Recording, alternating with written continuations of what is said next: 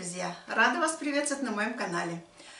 Но сегодня хочу что-нибудь такое, не только к завтраку, приготовить кроссаны. Кроссоны, как они правильно называются, не знаю.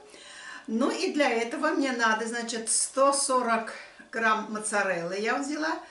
У кого микровелля есть, может микровелля ее растопить. Я ее буду растоплять на водяной бане. Ну вот так, на водяной бане я, видите, там водичку налила. Вот, и сюда я поставила свою чашку с этим, с моцареллой, с сыром. И сейчас, сейчас мы постоянно, при постоянном помешивании растопим вот эту, этот сыр. И там вода у меня начинает внизу закипать, вот, видите? И сыр начинает уже подплавливаться. Вот уже, видите, уже он начинает делаться тягущим, тягучим. И вот таким образом очень просто, если у вас нет микровелли, то можно вот так растопить на водяной бане сыр. Значит, 40 грамм миндальной муки, 30 грамм кокосовой муки, одна, э, так, одна чайная ложка у меня э, гуаркенмель называется, это кс, кса, ой, господи, напишу, как называется, короче, кометь по-русски называется, но как правильно я потом напишу. Значит, одна столовая ложка разрыхлителя, 30 грамм сливочного масла, ну и немного ванилину. Ну и приступим. Сыр мой расплавился. Сейчас мы его переложим вот сюда и будем замешивать тесто.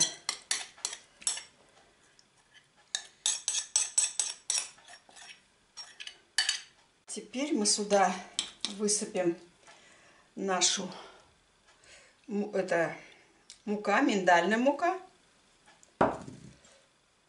кокосовая мука, сода, камедь, или, сейчас скажу, как она, гуаркинмель, вот, гуаркинмель называется. Так. Так. И масло наше 30. Ну и ваниль потом маленечко высыпем. Ну, теперь будем замешивать тесто. Наверное, придется рукой. Так.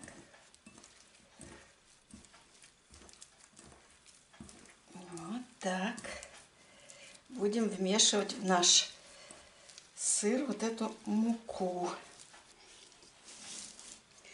Ну вот, будем тесто наше замешивать. Ну, конечно, маленечко что-то туговатое такое получается. Ну, наверное, так и должно быть. Я сама делаю все по рецептам. Ну и посмотрим, что у нас Круассан без сахара, без всего, очень мало углеводов. Ну, в общем, я добавила еще 10 грамм сливочного масла. Вот такое тесто у меня получилось. И сейчас будем формировать наши круассончики, круассанчики или... Так, ну я, в общем, в тесто добавила еще одно яйцо. Ну вот теперь похоже на тесто. Сейчас мы будем раскатывать.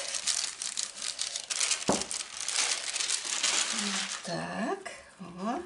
Так, и нам надо, ну, короче, сама вместе с вами пробую все это.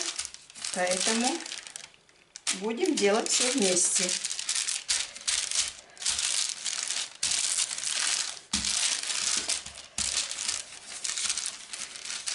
Что-то у меня по рецепту получилось много теста, там что-то меньше было. Ну, посмотрим. Вот так. Ну, вот тесто я раскатала наше. Сейчас мы его разрежем вот так на 4 части. Вот. И из каждой части мы сейчас будем делать один карусончик, карусанчик. Тесто где-то разрезала. Тесто такое. Так. Вот. Вот такой треугольничек. Ну и теперь мы его будем сворачивать. Сворачивать надо так тесто прижимать, потому что тесто маленечко такое э, крошится. Ну, она, наверное, должно быть такое, как, как по вкусу, как у круассанов. Она же там тоже такое крошить, крошится. Вот. Вот так. Ну и вот так.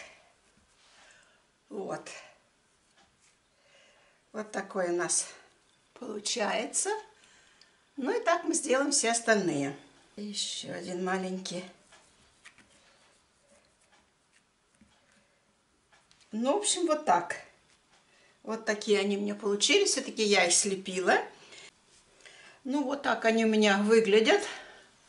Сейчас мы пойдем к духовке на 180 градусов 15 минут. Ну, а сколько на самом деле я буду выпекать, я потом напишу.